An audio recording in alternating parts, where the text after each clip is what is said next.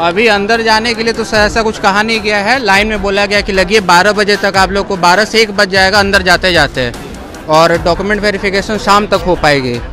तो थोड़ी मशक्क़त करनी पड़ रही है डीवी के लिए हम हम हम लोगों को। आ, क्या नाम है आपका? आलोक मधुकर। आलोक आ, कितने देर से खड़े हैं यहाँ पे? तीन घंटे से। बहुत परेशान है बहुत देर से लाइन में लगे हुए हैं। एक तो इतना धूप भी है।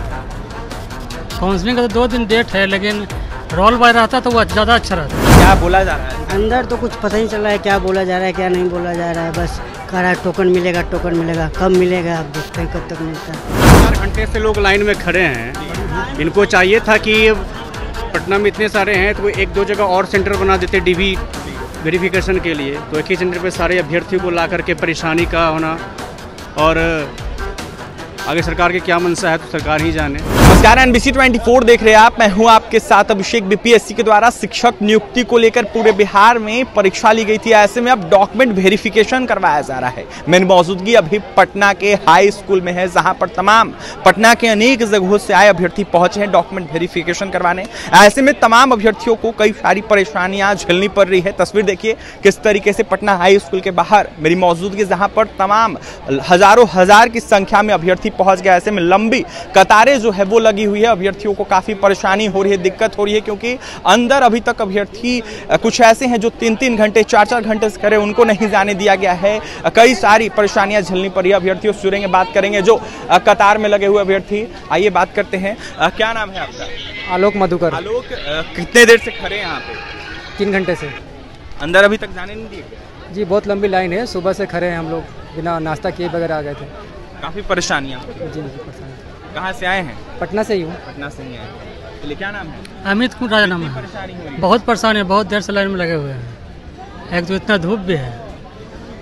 काउंसलिंग का तो दो दिन डेट है लेकिन रोल बाय रहता तो वो ज़्यादा अच्छा रहता। है एक बार सबको बुला लिया ज़्यादा दिक्कत हो रहा है। तो बहुत बेहतर तरीके से कहा जा रहा है। बेहतर है लेकिन बहुत ज़्यादा लड़का ना आ गया। आधा काज होगा आधा काज नहीं होगा।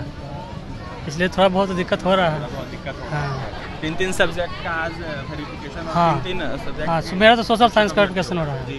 है। हिंदी सोशल साइंस और और हिंदी सोशल साइंस है संस्कृत। संस्कृत हाँ संस्कृत का भी हो रहा है। कितनी परेशानी हो रही है? परेशानी तो हो रही है। नाम ब्रज बिहारी पांडे मोकामा से हैं। कितने देर से खड़े हैं?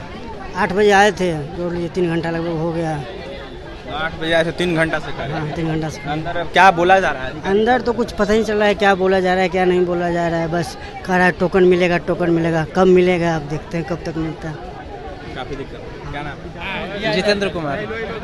जितेंद्र परेशानी हो है। परेशानी ही।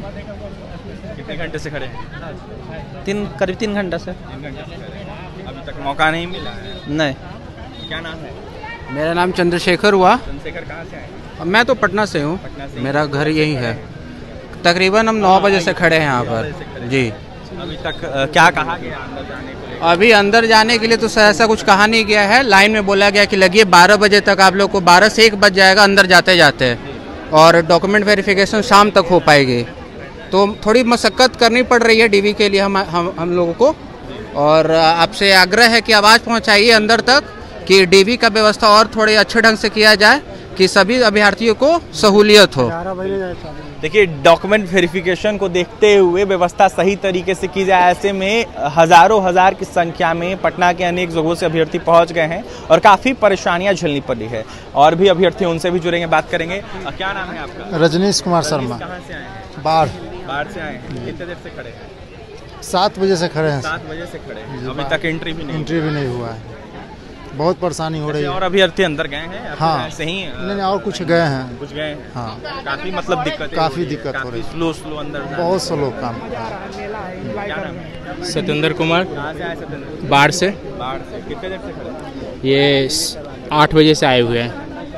आठ बजे से आए हुए हैं। बहुत बहुत ज़्यादा। बहुत परेशानी चार चार घंटे से लोग लाइन में खड़े हैं। इनको चाहिए था कि पटना में इतने सारे हैं तो एक दो जगह और सेंटर बना देते डीवी वेरिफिकेशन के लिए। तो एक ही सेंटर पे सारे अभ्यर्थियों को ला करके परेशानी का होना। और आगे सरकार की क्या मनसा है तो सरकार ही जाने। क्या बोल रहे थे? सोशल साइंस सब्जेक्ट के लिए और काउंटर की आवश्यकता थी क्योंकि इसमें बीस में अभ्यर्थी बहुत ज़्यादा हैं।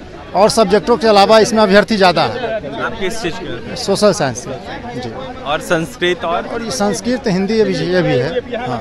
देखिए संस्कृत हिंदी सोशल साइंस तीनों अभ्यर्थी जो यहाँ पहुँचे ऐसे में देखिए किस तरीके से जो टोकन सिस्टम जो है वो लागू कर दिया गया ऐसे में टोकन पहले अभ्यर्थियों को मिल रहा है उसके बाद एंट्री मिल रही है। अभ्यर्थी अंदर जा रहे हैं जिसके बाद वेरिफिकेशन किया जा रहा है इन लोगों का डॉक्यूमेंट अभ्यर्थियों को काफ़ी परेशानियाँ झेलनी पड़ रही है। कई घंटों से अभ्यर्थी खड़े हैं। ऐसे में महिला अभ्यर्थी भी खड़ी है और उनको ही परेशानियाँ झेलनी पड़ रही है। देखने वाली बात यह होगी कब तक होता है डॉक्यूमेंट वेरिफिकेशन ऐसे में कई अभ्यर्थी ऐसे हैं जो लाइन में खड़े हैं तीन तीन घंटा हो गया चार चार घंटा हो गया, लेकिन अभी तक एंट्री नहीं मिला है, क्योंकि सुबह से ही वेरिफिकेशन हो रहा है। फ़िलहाल, क्या कुछ कहते अभ्यर्थी? आपने सुना है, कहीं ना कहीं बीपीएससी को, विभाग को इसको लेकर अच्छे से व्यवस्था करनी चाहिए थी या फिर और भी सेंटर बना देना चाहिए था, लेकिन एक ही सेंटर है पटना जिला का, जिसमें अभ्यर्थियों को काफ़ी परेशानियाँ हो रही है और भी तमाम खबरों के लिए एनबीसी 24 के साथ बन रहे, पटना से सहयोगी अमित के साथ अभिषेक की रिपोर्ट।